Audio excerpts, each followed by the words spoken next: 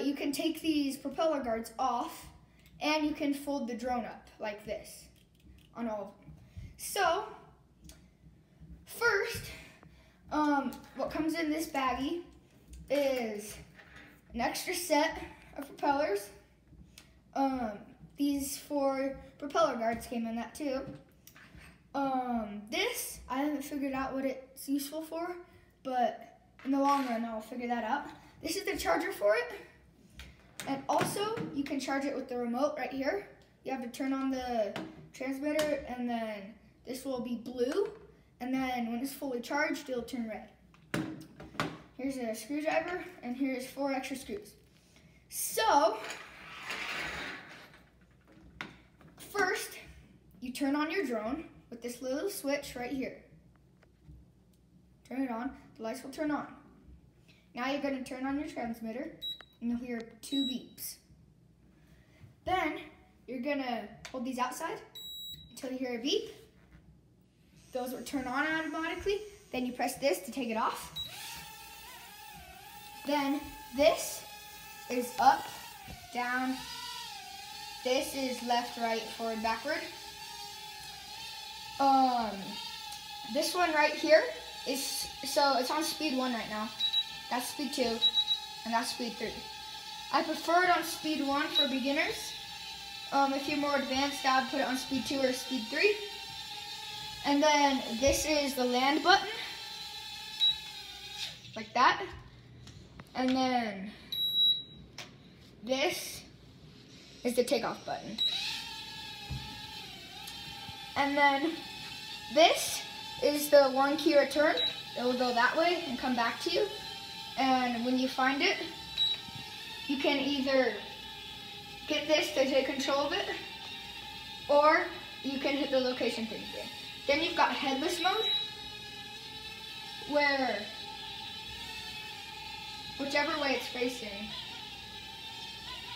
you can fly it in a certain direction. So, okay, um, now, as you can see when the lights are blinking, that means the battery's running out.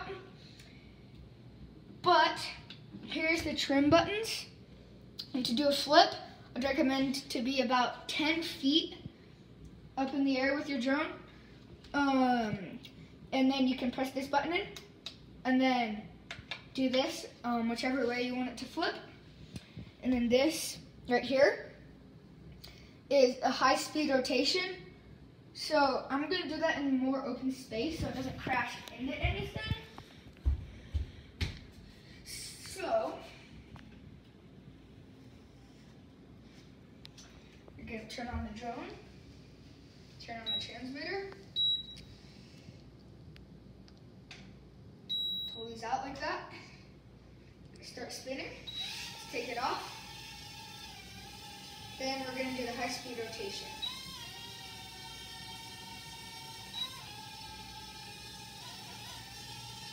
Like that. I would recommend to do that high speed rotation if they're more advanced. Because um, when you press the button to stop it, it stops in any direction where it's facing. So whereas the front is facing me right now. So I'll have to turn it back and make sure it's good. So we're just gonna go over what's on the transmitter one more time. So this is the power button right here. Press it, it turns on, and it beeps twice. We're gonna turn that off. Um, this is the speed. So it, will automatically turn on with speed one. Um, so if you press it, it'll go to speed two and then speed 3. So let's turn it on again. So you'll hear speed 2, speed 3, speed 1. Again, this is the high speed rotation where the drone just goes wee, just spins around um, until you press that button again to stop it. Um, this is the land button, this is the takeoff button.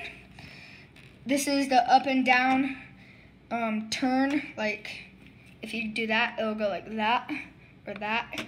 Um, this is forwards, backwards, left, and right. Um, this is the location. Um, it'll come back to you.